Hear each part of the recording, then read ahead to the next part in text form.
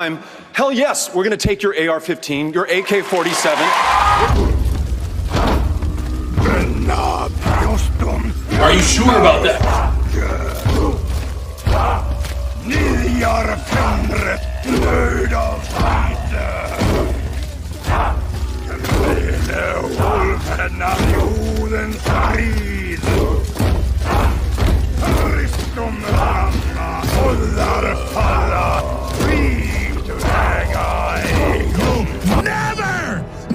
Never defeat the human spirit. You'll never defeat God. You'll never win. Never. It's, it's a good place. Here we are in the middle of it, right up on the mountain. If this son of a bitch wants to bitch about his cows over here and shoot at me, well, it's our country. Good evening, everybody. Today we're going to be talking about signaling. Now, this video is going to be divided into two parts, hence the 2.1. This first part is going to be daytime signaling, and the second, uh, much more in-depth part is going to be nighttime signaling.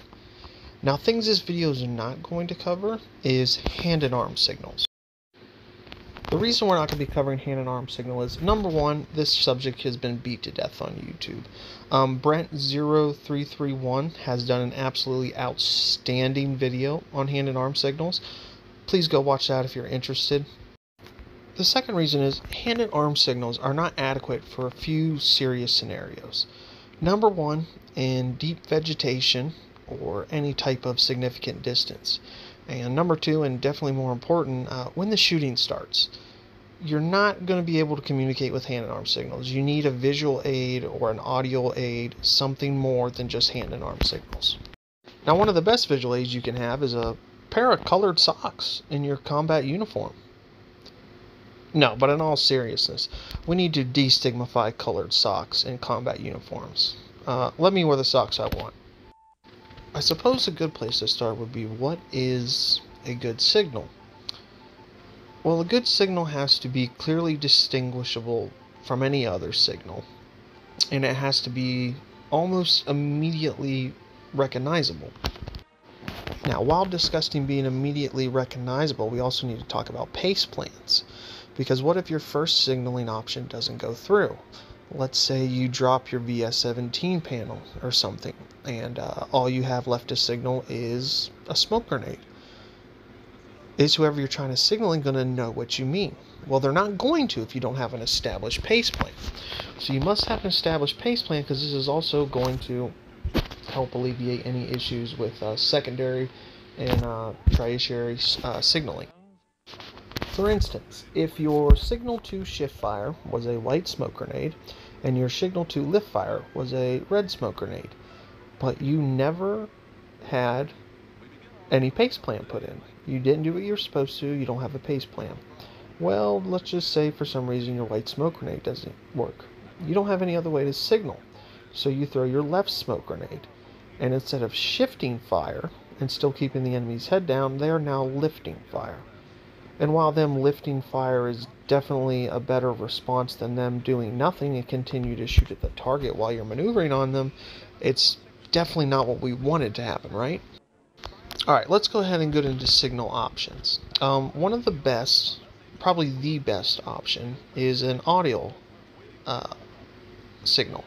Other words, voice. There can be no confusing a voice command. You are telling them exactly what needs to happen. Be simply yelling, or um, much better would be over a radio.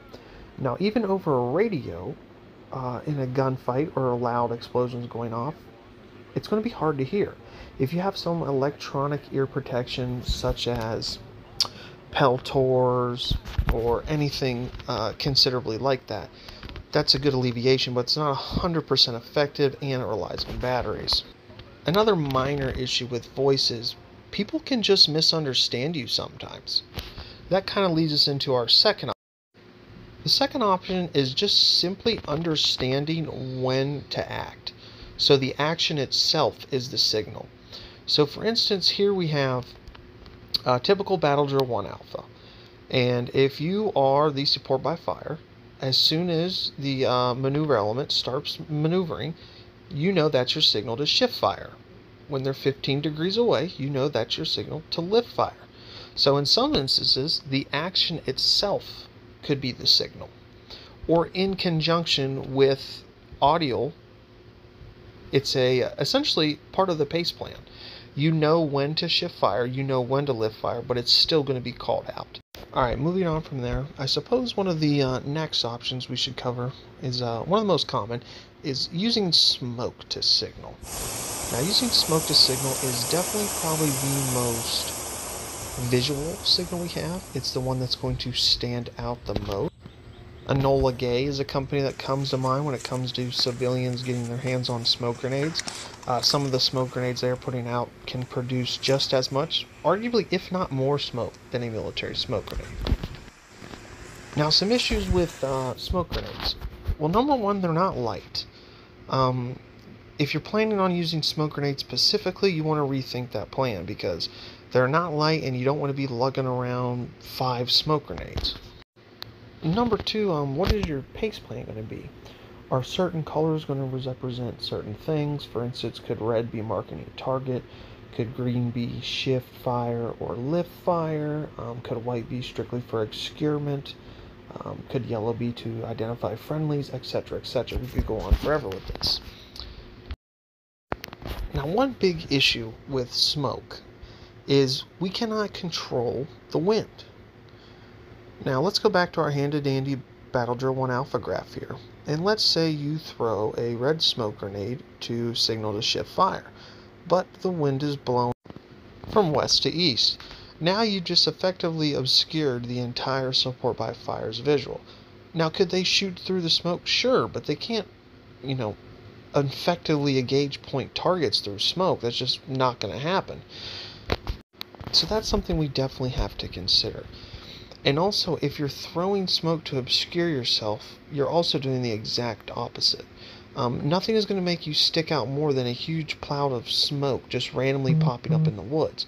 Everybody's going to know somebody is over there now. Now, the next signal option we're going to talk to is uh, my personal favorite, the VS17 panel. Now you can get these a full-size VS17 panel and cut them down and you can have a signal option for pretty much your entire squad. Um, my personal favorite is to cut them essentially into the sheet of a paper and tie them to about three chem lights and what you've done is you basically now have a wolf's tail and a flaming rock all in one. Uh, we'll cover the wolf's tail in the next video, but a flaming rock, I'll show a demonstration here in a little bit, is essentially a uh, bright piece of material, in this case a VS17 panel, thrown to something moderately heavy, i.e. a rock, or in this case, uh, three chem lights, and you can throw it to signal. Or you can swing it around like a buzzsaw also. This is another very good option.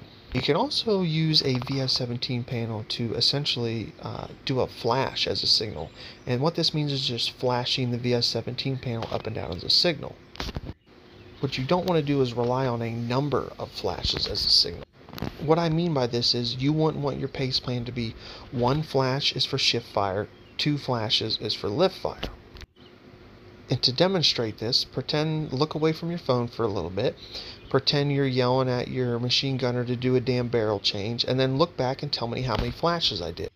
A better option is to do the length of time that it's exposed. For instance, shift fire could be a quick flash just up and down, and then lift fire could be it's held up for about five seconds. Um, you need a difference in time to where it's unmistakable. There's no mistaking somebody holding a uh, VS17 panel up for five seconds for a quick flash. And you can also do these over and over again, and they still mean the same thing. Now, believe it or not, I've actually found that in heavy, dense vegetation, like we have here in the uh, Midwest, a laser a strong laser actually works well for uh, signaling also. Now, these are by no means the only options you have for signaling, but in my opinion, these are the best options we have for signaling. Um, the smoke is definitely by far the most utilized, probably overutilized, honestly, by the military. The VS-17 panel is probably the uh, best option for light operations, I would say. It has the least amount of weight, it is the most versatile in my opinion, and you don't have to worry about the wind being able to mess it up. For instance, if your pace plan for shift fire is number one, voice, so you call them over the radio, shift fire, shift fire. They don't respond. Okay, now I'm going to throw a flaming rock, a VS17 panel attached to a couple uh, chem lights. Throw that out there, they don't respond. Okay, now I'm going to throw a white smoke. If for some miraculous reason they didn't throw a white smoke, then you just have, you're just going to have to send a runner over there because they're not going to get it at that point. Now we still have lift fire. So what is the pace plan for lift fire going to be? Are we still going to use audio? Sure. But after that, are we going to use a flaming rock again? Are we going to have two of those on us? Or are we just going to go straight to smoke? Are we going to use a different color smoke? And then once we're maneuvering, we can't send a runner again, so that takes out of the question.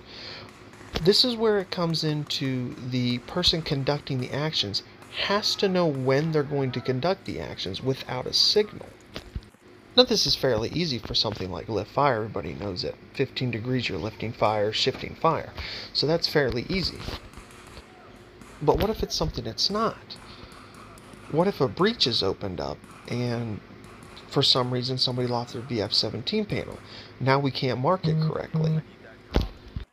Scenarios are like this are when pace plans become incredibly important. And just like communications, pace plans show the weaknesses of the plan in signaling. A poor pace plan when it comes to signaling could be the difference between somebody calling for fire on your position or calling for fire on the enemy's position, depending if you just simply use the wrong color smoke grenade.